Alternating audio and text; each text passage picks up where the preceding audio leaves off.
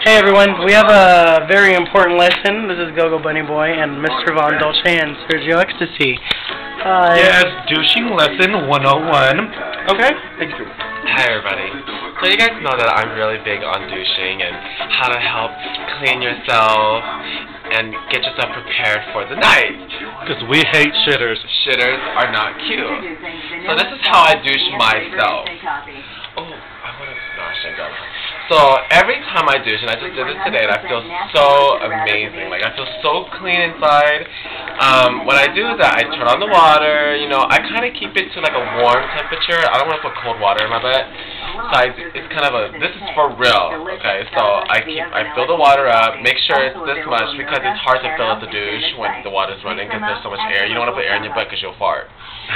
So what I do is I fill, I take the douche, I go in the water, I fill it up, I'm butt naked, and I go like this in the shower, and then so, and then what I do is um I don't I'm you know kind of dried on there, so you want to take a bar of soap, just a little bit of soap, and you want to you know go a little.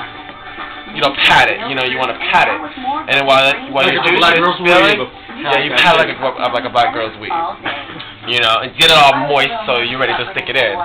And then what you do is you take the douche, you go under underwater, you squeeze it, put all the water in there, you just stick it in slowly. The first one's always slowly, you know, it's like a dick. The first one's always slow. You go in and you squeeze all the water inside, and you can feel it. And it, the deeper you want it to go, the more you arch your back. If you arch your back like this, it'll go in deeper, right? But I usually go like this. And, because I have a small butt. But if you girl with a big butt, you guys go, go like this. you know, if you have a big butt, you gotta go like this. wow. So, I take some more, and I usually start it with three, three douches. So I do it three times. Douche it, put water, put water, put water. And then I get up, and I go like this. I just finish, you know, do my, wash my hair, my face. And I go like that. That's all it takes to meet Yeah. Shake it and jiggle it. I shake it like that. Jiggle it. And I run to the toilet, and I go like this, and just go, it's like a blender, right? And then I look at it, you know, you know, mm, you know, and I flush it, because when you need to flush it, because you know if it's getting clear, then it's more, the more clean you are.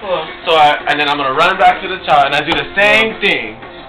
Do three times, three times, and I run to the, and I go like that, and I go to the toilet like this, and I look down, it's clean, and I'm good. Perfect. Good. That's douching 101. Alright, loves. We'll see you guys later.